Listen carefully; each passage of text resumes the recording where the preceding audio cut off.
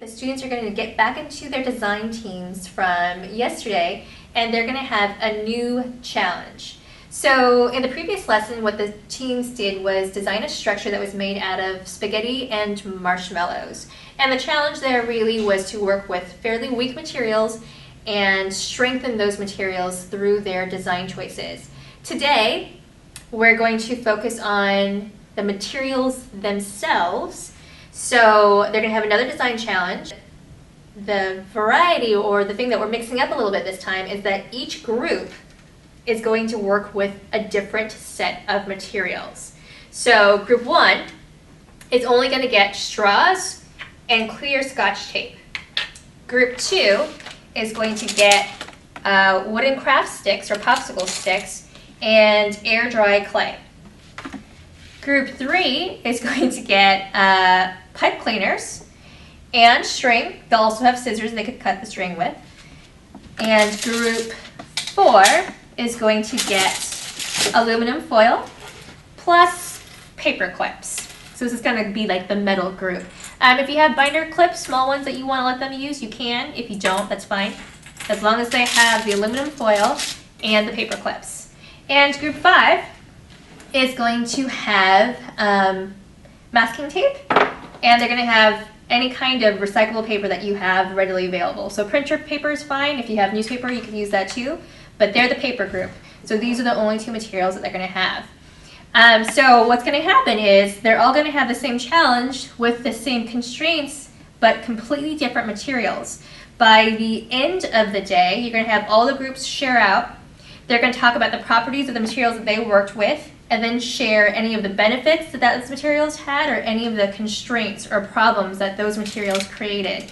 And um, that will kind of get them thinking about what kinds of materials they're going to want to use for their final engineer, engineering design challenge, which will happen in the last four lessons of the unit. But again, these are the materials, and that's the focus for this main activity.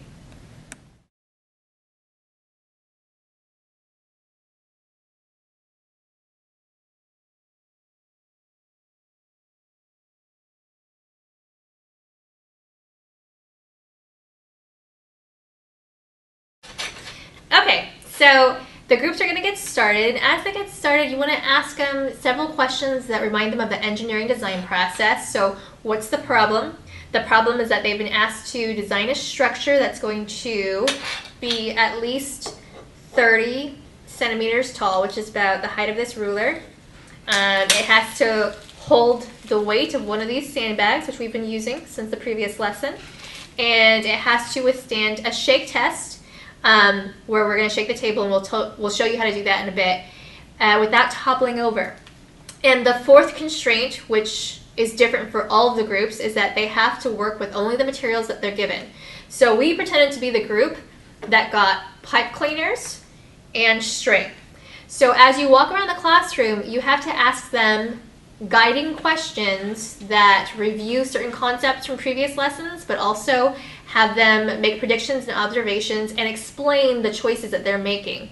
So if you come to this group and you see they've built this tower, you can say, well, what did you notice about the properties of your materials? So what are the properties, Leslie, of pipe cleaners and string? Really flimsy. So really? stable at all. not stable, really flimsy, but I just bent it. What did it do? It stayed. That shape. Yeah. So what's one of the benefits of using pipe cleaners? You can bend it into the shape you want it. Yeah, you can bend it into the shape that you want. And the, the sciencey word would be it's malleable um, and it's going to hold its shape. But if the kids just say you can bend it into whatever shape that you want, that's totally fine. And that is a benefit when you're building. Why? Because you don't want it to be to change on you. You want it to be a shape. Yeah, you want like, to form it into a shape and then have it stay that shape yeah. pretty much. And it's pretty easy to do, right? Do you know what pipe cleaners are made of? No. Inside, it's very, very thin um, strings of steel. So what this group probably thought when they got pipe, pipe cleaners and the string was that they got the worst materials because they're super, uh, like Leslie said, flimsy and super flexible. Yes, you can bend them into nice shapes and everything, but they probably thought there's no way that's going to hold up its shape. But we talked about reinforcing shapes and using strong shapes in the previous lesson. How can you make this one flimsy piece of pipe cleaner stronger? Keep folding it in half, or Keep folding it in half. twisting Do that. So she's folding it in half and folding it in half again. and also twist, I guess. And then you can also twist it. And that's actually what a lot of building engineers use for suspension bridges. It's actually lots and lots of twisted um, steel cables, and that's actually super, super strong. So you're not going to tell them that. You can keep asking them questions, and if they figure it out, they figure it out. But yeah, you could always make something stronger. And for us, we had the pipe cleaners, which are actually like steel cable, and we twisted them into stronger, stronger pieces of um, pipe cleaner. So this is her shape. Um, what's the problem with our with our structure so far, Leslie? what do we already know it's not going to do? Hold up the weight. It's not going to hold up the weight, really. Well, we haven't finished it. We're gonna we're gonna add more to the top. So, um, well, we also had string, which we just couldn't figure out what to do with this. So, we're not using our string right now, and that's fine for the students. So, um, it's not going to hold up the weight. Is it going to stay standing? It looks like it. Yeah, it'll stay standing. It won't hold the weight. So how can we make it stronger? Do you remember what we did in lesson two when we talked about strong shapes? What's the strongest shape? The strongest shape is um, a triangle. So, Oh yeah. so how can we add triangles? Well, we already made it kind of a rectangle at this point. So how can we add triangles to it? Could we add the bridges or like the ones that connect like that? Mm-hmm. And so the ones that connect like this, that cross, are, are called cross braces. So we could add braces. So let's add one of the. Let's add those. And um, symmetry also makes a structure stronger. Is our structure symmetrical? So this part of it is symmetrical. Some of our some of our braces are not symmetrical, so that's something that we could fix. So if you're seeing that the kids are are um, you know, doing a good job, but they can improve somewhat, you could ask them questions to fix it. So we're going to try to make it more symmetrical. We're also going to add cross braces. So we're going to do that. Um, so giving them the independence to kind of figure things out on their own, but also asking them guiding questions as we go. So let's try to make this symmetrical. Very malleable. It's staying in the shape, so we just wrap it around itself. It stays like that. We could trim it later. Is it stronger?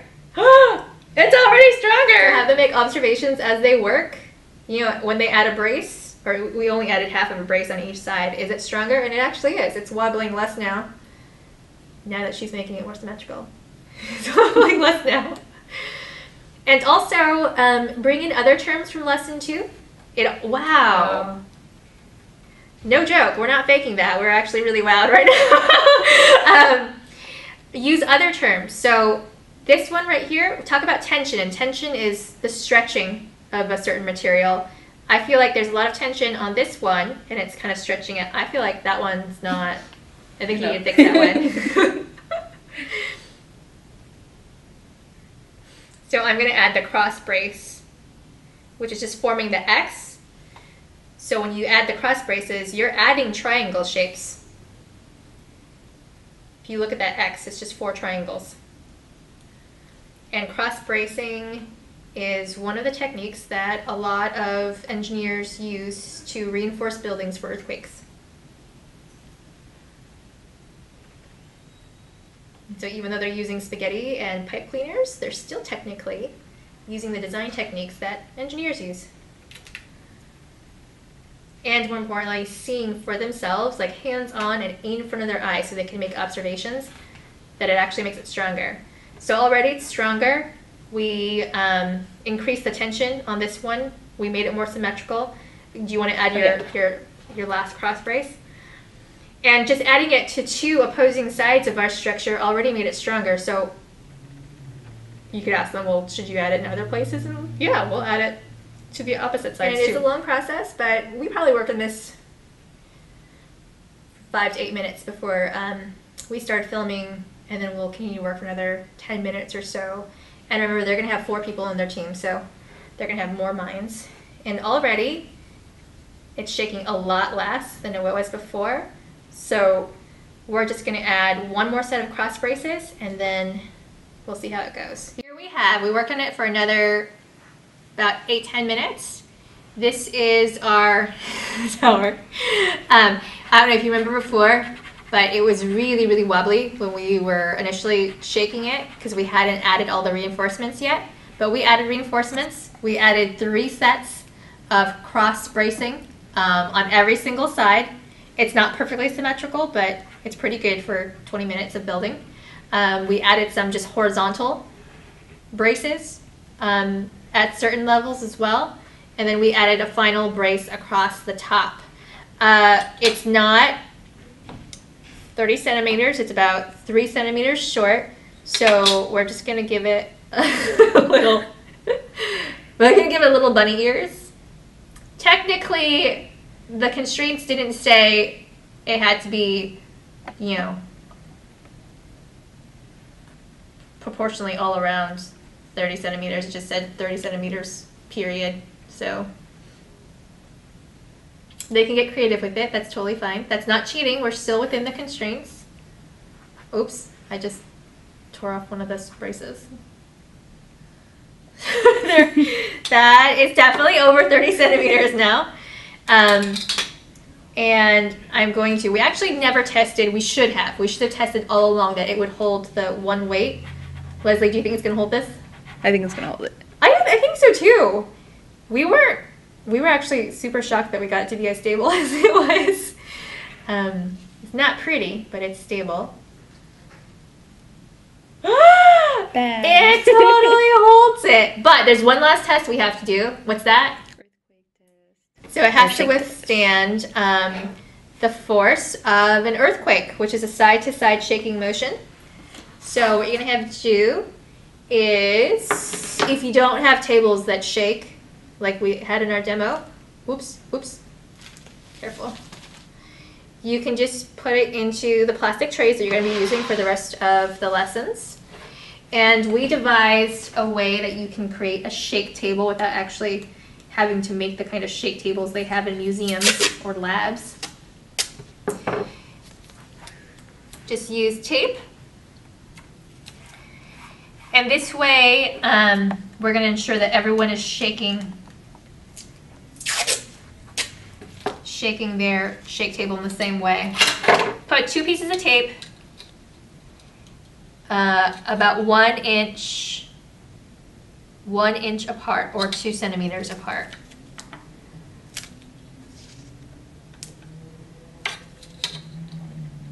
Okay, make sure every group has it the same way. So this is one inch or two centimeters apart.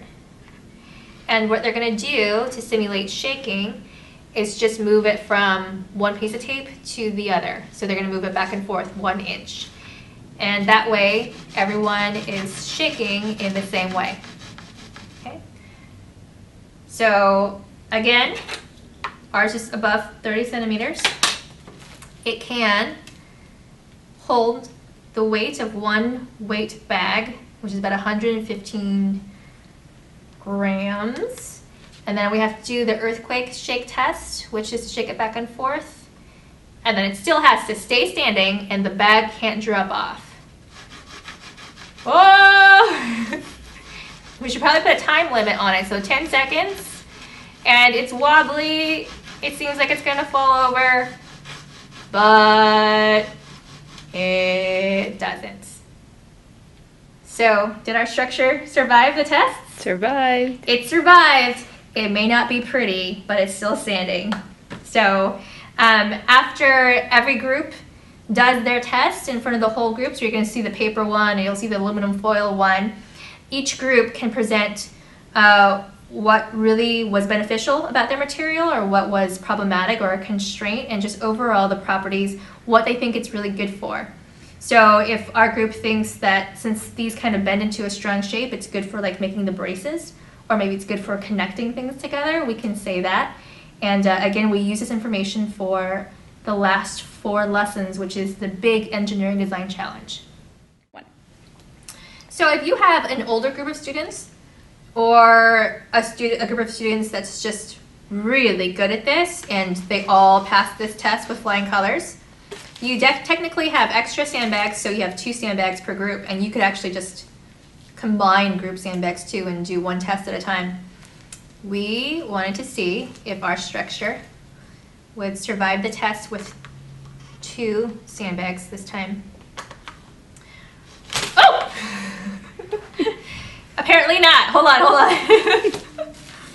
but um, we'll stack the sandbag. Shoot, the structure's falling. The structure's falling. we'll stack it. Oh. So our structure only survives in one sandbag.